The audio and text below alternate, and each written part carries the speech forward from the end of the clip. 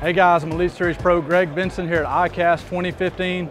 I've got a brand new bait from NetBait. This is called the Paca Slim.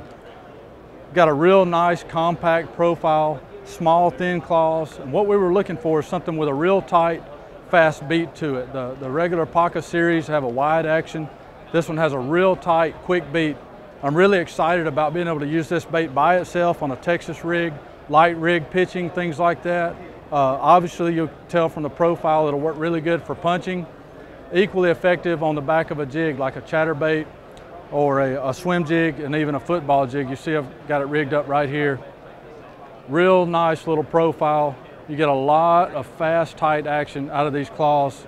Uh, look for them guys at Tackle Warehouse, the new net bait, Paca Slim.